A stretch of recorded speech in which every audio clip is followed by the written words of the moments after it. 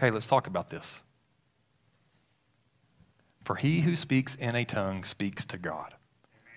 Right here, Paul is telling us this is what the term prayer language comes from. This is your individual prayer language. This is you speaking in a tongue, not to somebody, not in a service. This is that upward relationship that we talked about a few minutes ago. This is a prayer language. This is a perfect language. This is your spirit talking to God.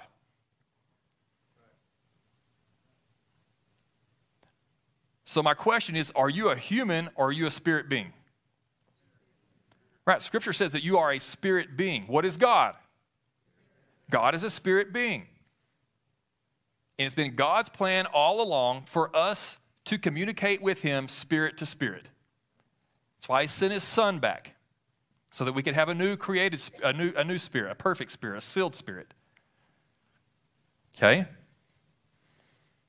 It is for you and no one else.